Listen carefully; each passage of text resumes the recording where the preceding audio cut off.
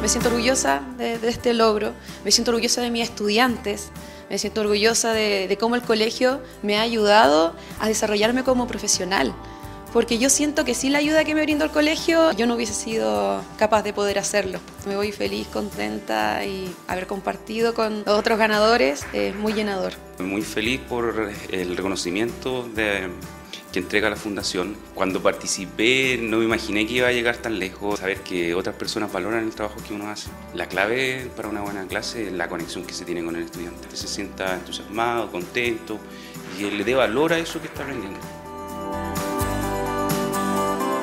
es un bonito desafío porque no es complicado participar, en el fondo es hacer un video, eh, a lo mejor ser un poquito más creativo y buscar una clase que sea como tu clase regalona. Si tú tienes cariño a lo que haces, a tus estudiantes, los escuchas, los conoces, cualquier idea te puede resultar bonita y potente. Cuando los profesores tienen actitud, que cuando hay entusiasmo por la profesión que se tiene, se pueden tener muy buenos resultados con los estudiantes, súper contentos por haber sido en esta oportunidad ganadores del proyecto Mi Mejor Clase.